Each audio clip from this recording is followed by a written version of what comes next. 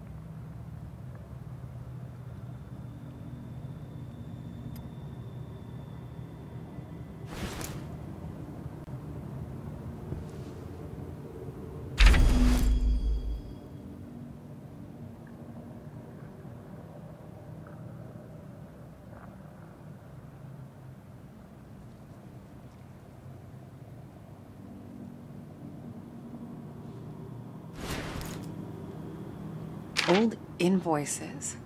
Outdated documents. Wonder why someone put them out here.